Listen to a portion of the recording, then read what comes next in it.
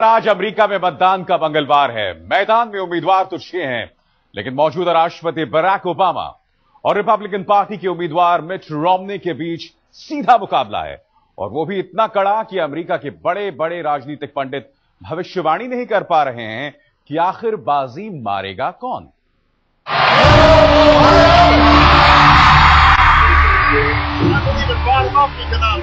That's how you grow an economy. That's the choice in this election.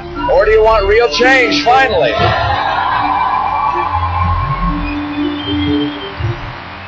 कौन पहुंचेगा white house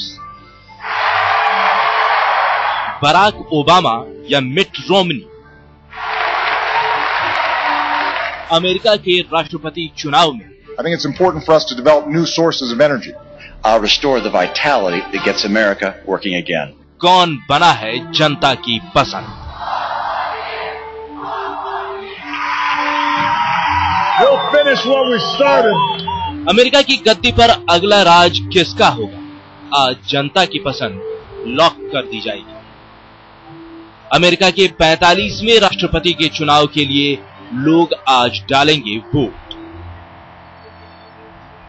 किसका मुद्दा कितना भारी पड़ा, किसके मुद्दों ने जनता को ज़्यादा लुभाया, किसके नारे में है कितना दम, आज उन सब पर लग जाएगी जनता की मुहर। डेमोक्रेट उम्मीदवार बराक ओबामा और रिपब्लिकन कैंडिडेट मिट रोमनी ने प्रचार के दौरान अपनी अपनी तरफ़ से जनता को लुभाने की हर मुमकिन कोशिश की है।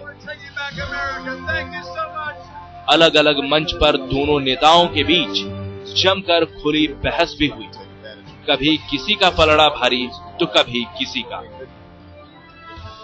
We ask you to stay at it all the way, all the way to victory on Tuesday night.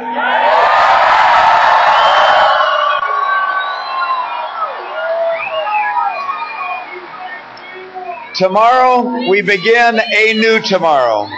Tomorrow we begin a better tomorrow. This nation is going to begin to change for the better tomorrow. Your work is making a difference. The people of the world are watching. The people of America are watching. आर्थिक विदेश स्वास्थ्य कर और रोज़गार हर मुद्दे पर जमकर चला है सवालों जवाबों का दौर हालाँकि ओबामा और रोमनी के बीच अब तक चल रही है कांटे की टक्कर लेकिन जो रुझान अब तक हासिल हुए हैं वो बताते हैं कि पलड़ा फ़िलहाल ओबामा का ही भारी है। आर्थिक मुद्दों पर जनता ने ओबामा को ही बेहतर माना है। विदेश मामलों के फैसले पर भी जनता को ओबामा ही बेहतर लगते हैं। स्वास्थ्य संबंधी नीतियों को लेकर भी पसंद ओबामा ही है। जहाँ तक मामला कर और रोज़गार का है तो आगे तो ओबामा है, लेकिन टक्कर कांटे की है।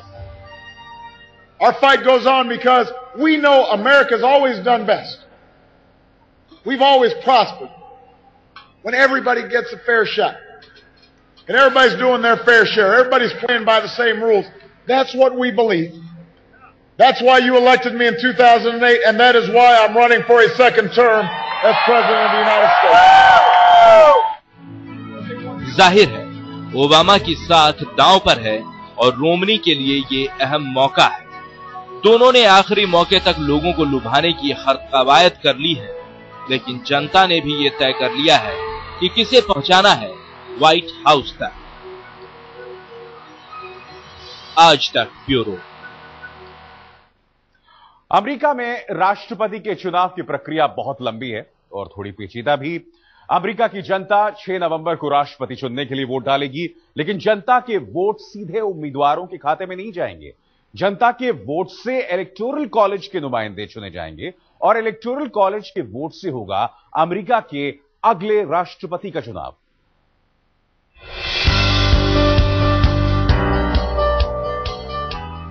पचास राज्य। 538 इलेक्टोरल वोट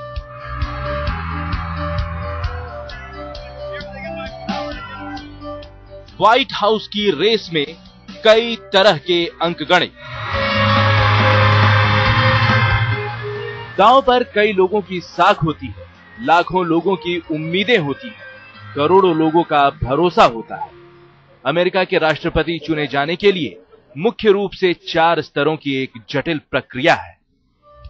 प्राइमरी चुनाव कॉकस चुनाव, नामांकन फाइनल राउंड प्राइमरी चुनाव में आम लोग वोट के ज़रिए अपने प्रतिनिधि चुनते हैं। जिन राज्यों में कॉकस चुनाव की व्यवस्था होती है, उनमें पार्टी की बैठक होती है और डेलीगेट्स उम्मीदवार चुनते हैं। प्राइमरी और कॉकस चुनाव में कम वोट पाने वाले प्रत्याशी नाम वापस लेते हैं और किसी दूसरे को अपना समर्थन जताते हैं।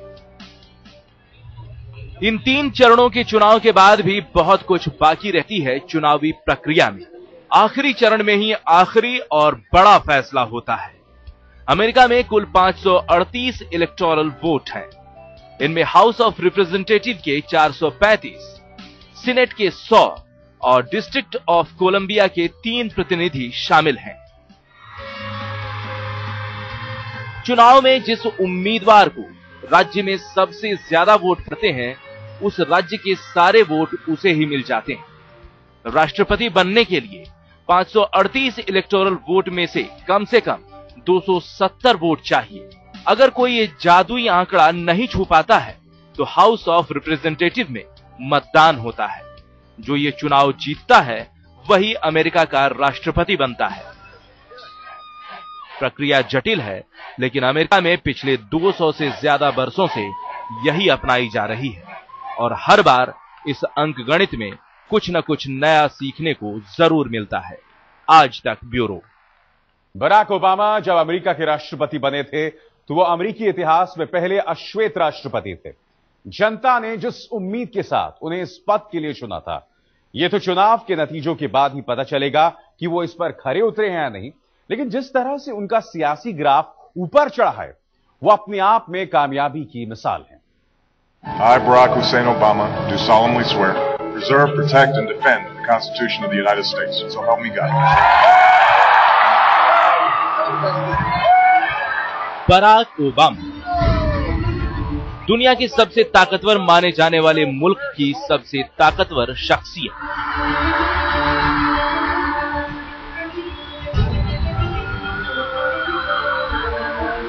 ओबामा जब इस गद्दी पर बैठे तो वो एक इतिहास था इतिहास अमेरिका में बदलाव की एक लंबी लड़ाई जीतने का। इतिहास उस सपने के सच होने का जो बरसों पहले मार्टिन लूथर ने देखा था। I, Barack Hussein Obama, do solemnly swear 20 जनवरी 2009 जब ओबामा ने अमेरिका के 44वें राष्ट्रपति के रूप में शपथ ली तो उनके सिर अमेरिका का पहला अश्वेत राष्ट्रपति होने का सेहरा सजा। सियासत के उलझे रास्तों पर बराक ओबामा का सफ़र 36 साल की उम्र में शुरू हुआ था। इलियनॉय प्रांत से वो उन्नीस से 2004 तक, यानी तीन बार सीनेटर रहे। साल 2000 में उन्होंने अमेरिकी हाउस ऑफ़ रिप्रेजेंटेटिव में सीट हासिल करने की कोशिश की, लेकिन कामयाब नहीं हुई। 2003 में ओबामा ने अमेरिकी सीनेट का रुख किया। 2008 में उन्होंने डेमोक्रेटिक पार्टी के उम्मीदवार के रूप में राष्ट्रपति का चुनाव लड़ा और कामयाबी का परचम लहराया। 2009 में उन्हें नोबेल पुरस्कार से सम्मानित किया गया।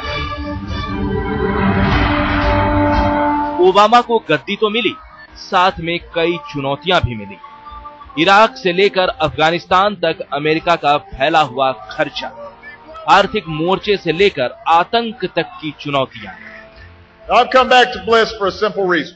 Obama के विरोधी लाख मुद्दे उछाल लें लेकिन आतंक के सबसे बड़े नाम ओसामा को खत्म करने का सेहरा तो ओबामा के ही शासन को जाता है on groups like Al Qaeda, the ones that carried out the 9 11 attacks and the ones that still threaten uh, U.S. interests. And those forces uh, have not gone away.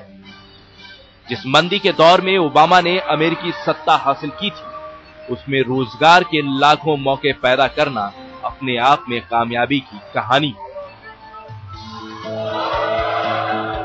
4 अगस्त 1961 को हवाई द्वीप के होनोलुलु में बराक ओबामा का जन्म हुआ।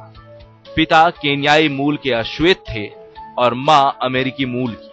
बचपन में लोग उन्हें बैरी कहकर बुलाया करते थे। बैरी की माँ ने तलाक लेकर इंडोनेशियाई शख्स से शादी कर ली थी। इसलिए ओबामा का बचपन पहले हवाई और फिर जकार्ता में बीता। उन्नीस में मिशेल से ओबामा की शादी हुई। सियासत में कामयाबी का सबसे ऊँचा मुकाम हासिल करने के अलावा, ओबामा अपने भीतर कई दूसरी खूबियाँ भी समेटे हुए हैं। राजनेता के साथ साथ उनकी शख्सियत में एक कामयाब लेखक भी छिपा हुआ है। उनकी पहली किताब Dreams from my father story of race and inheritance he best seller साबित हुई। कहा जाता है कि इस किताब से मिली बेशुमार लोकप्रियता ने ही ओबामा को अमेरिका के राष्ट्रपति चुनाव में उतरने का हौसला दिया। आज तक ब्यूरो। उन्नीस में जने मिट रोमने रिपब्लिकन्स की तरफ़ से उम्मीदवार हैं। ये मैसेच्यूसेट्स के गवर्नर रहे थे साल 2003 से 2007 के बीच, और इनकी पृष्ठभूमि एक बिजनेसमैन की है। क्या वो वाकई अमेरिका की पहली पसंद बन पाएँगे?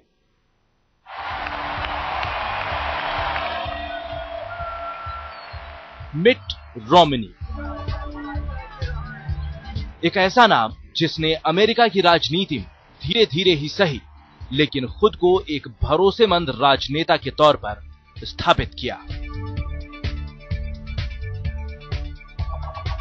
एक व्यवसायी के तौर पर अपना करियर शुरू करने वाले रोमनी के जैसे खून में ही सियासत बसी थी।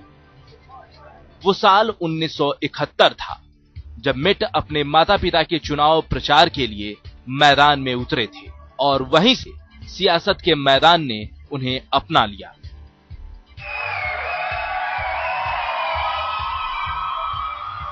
बारह मार्च 1947 को जन्मे रोमनी। वैसे तो अमेरिकी राजनीति में बुज़ुर्गों की फहरिस्त में आते हैं। लेकिन उनका जोश और राजनीति के लिए उनका जुनून, उनके विरोधियों को भी उनका कायल बना देता है। रोमनी 2003 से 2007 तक मैसेच्यूसेट्स के गवर्नर रहे हैं। राजनीति और जनता में उनकी बढ़ती पैठ को देखते हुए ही रिपब्लिकन पार्टी ने उन्हें राष्ट्रपति उम्मीदवार के तौर पर मैदान में उतारा है। आज तक ब्यूरो।